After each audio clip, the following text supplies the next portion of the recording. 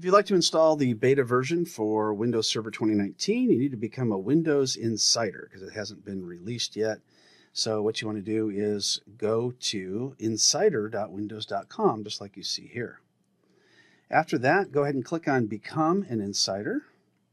And then you're going to put in your Windows email address and go ahead and log in. Now, if you don't have an account with Microsoft, just go ahead and click No Account, create one. Put in an email address of your choice. Doesn't have to be a Microsoft account. It could be any email address you want or a phone number. And then you'll get a text or an email to confirm your information, and then you're in. That's it. Now you want to open up uh, the following link here to get to the Insider build. So you go to microsoft.com slash en-us slash software-download slash Windows Insider Preview Server. If you just if you leave out the word server, then you get Windows 10. So you don't want that. You want the server.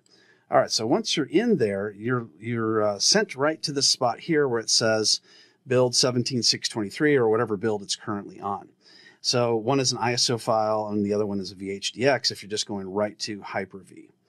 If you uh, want to download those, you can, but it's going to be just the core version. So if you want to get the GUI version, the one with the desktop experience, and you click on the vNext LTSC preview, and that's going to have the GUI in it.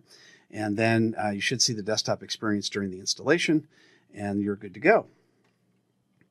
If you want, you can also get Project Honolulu, which is a web-based GUI if you want to do that as well.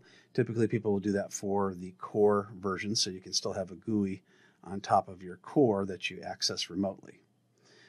So that is how you get to Windows Server 2019 beta using the Windows Insider program.